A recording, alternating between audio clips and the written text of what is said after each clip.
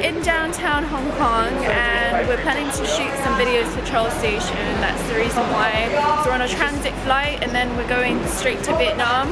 I'm so excited! I can't believe I'm actually here. This plan has been in the works for the longest time and I can't actually believe that it's come to reality.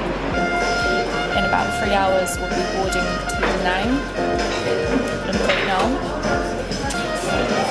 staying at Samdi Hotel and I'm doing a review for Luxury Lifestyle which is going to be pretty cool because I'll show you around to when we're there. Um, we'll be there for about two weeks, I think about 16 days. Should be pretty fun. But anyways, let me stop babbling on.